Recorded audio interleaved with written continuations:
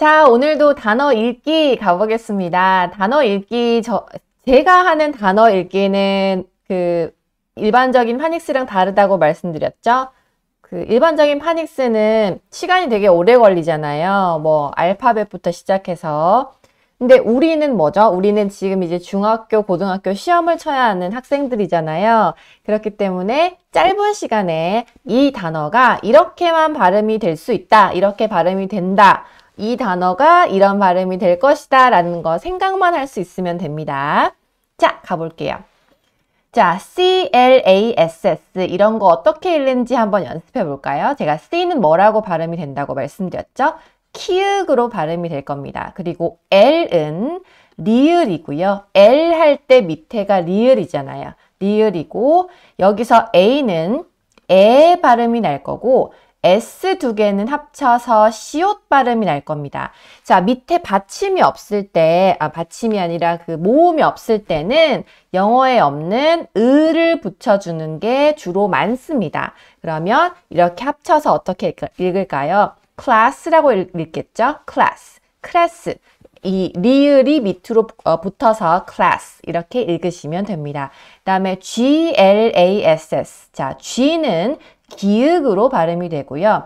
L은 리을, A는 에, S 두 개는 시옷 발음이 날 겁니다. 마찬가지 이렇게 붙여볼까요? 을을 합쳐서 glass, glass 이렇게 읽으시면 됩니다. 자, F-A-S-T 읽어볼게요.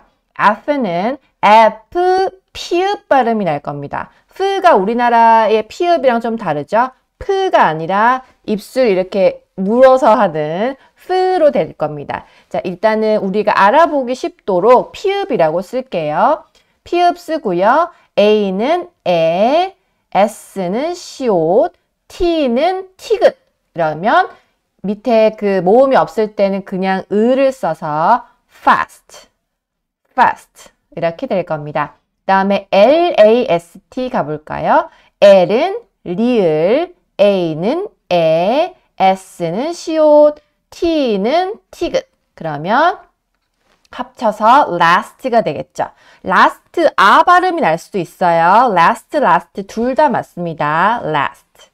다음 H-A-N-D. 자, H는 제가 지난 시간에 히읗 발음이 난다고 말씀드렸어요. 히읗 발음. house 할 때도 H거든요. 히읗 발음. 그 다음 A는 에, N은 니은, D, 어, D는 디귿. 자, 붙여볼까요? 그러면 hand, hand 이렇게 되겠죠? 자, 넘어갈게요. 하루에 10개만 할 거예요, 여러분. 10개만 하셔도 충분합니다. 자, SAND 읽어볼게요. S는 시옷, A는 에, N은 니은, D는 디귿. 합쳐서 sand, sand. 그죠? 모래란 뜻이죠?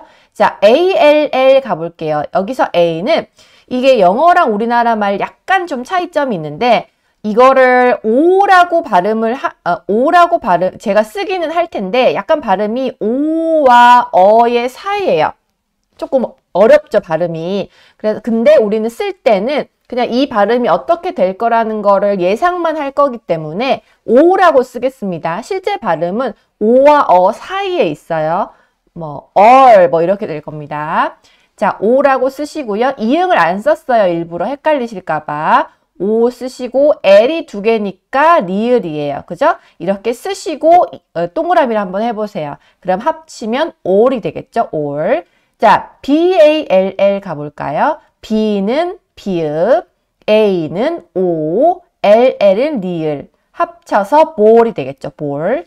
다음에 C-A-L-L. C는 키읔이고요. A는 O, LL은 리을, 합쳐서 콜이 되겠죠.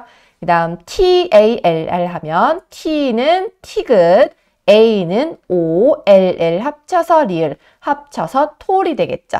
아시겠죠? 그러니까 하루에 10개만 여러분 해보세요. 이거를 밑에 그냥 연필로 써보시면 돼요. 음, 써서 하는 게 굉장히 중요합니다. 왜냐하면 우리는 실제 뭐 원어민처럼 그 발음을 알려고 하는 게 아니라 아 이게 이런 발음이 난다는 것만 아시면 돼요. 아시겠죠? 오늘도 수고하셨습니다.